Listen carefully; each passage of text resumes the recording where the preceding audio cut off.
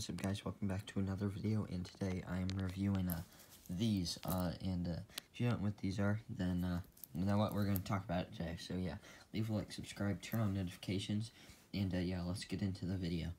Alright, so we're to start off with uh, this pink thing, uh, this pink necklace, so what are, what these are, they're like roped necklace things, chains, I guess, and uh, I got these when I was younger at tournaments, they usually sell them, uh, at the tournaments. They're like ten dollars, and uh, yeah, I got a, few.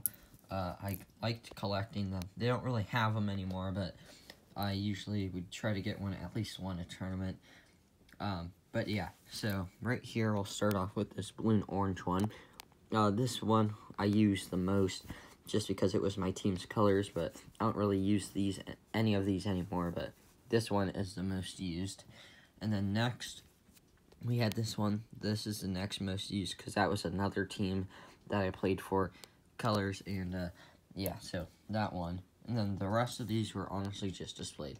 So this is like the Lakers colors right here, purple, yellow, black. But uh, this is my high school team, so my high school team's color, but I'm not in high school yet, so I don't know why I got this one. I like the color, so uh, yeah. Right here is a purple and orange one. I just thought this one was cool. Um, right here was this.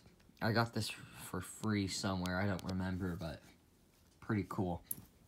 And then we have this pink one. Probably my favorite out of them all. Uh, I just like the colors. But, uh, yeah. Uh, didn't really use this one much, but still my favorite. And finally, we have this green one. Didn't use this one at all, but, uh, still pretty cool. Kind of a waste of money, but you know what? Yes, it's fine. Uh, but, uh, yeah, this is the collection. And, uh, yeah, thank you guys for watching. Like, subscribe, turn on notifications if you do like these reviews. And, uh, yeah, thank you.